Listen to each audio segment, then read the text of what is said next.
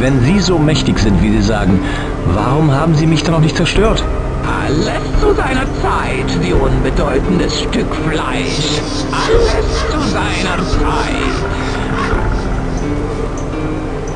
Ich bin aber kein Stück Fleisch, sondern Max. Ihr Name ist vollkommen egal.